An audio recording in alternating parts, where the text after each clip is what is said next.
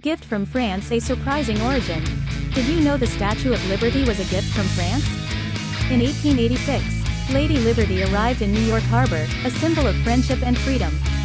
Designed by Bartholdi, the statue's framework was engineered by Alexander Gustav Eiffel, of Eiffel Tower fame. The iron skeleton ensured structural integrity. The statue's copper exterior wasn't just for aesthetics. It served a scientific purpose. Copper resists corrosion, giving Lady Liberty her enduring green patina. The Statue of Liberty stands on a pedestal. Designed by American architect Richard Morris Hunt. Its foundation reaches bedrock, providing stability. Unveiled on October 28, 1886. The Statue of Liberty became a symbol of democracy. Today, she continues to inspire millions as a beacon of hope and liberty.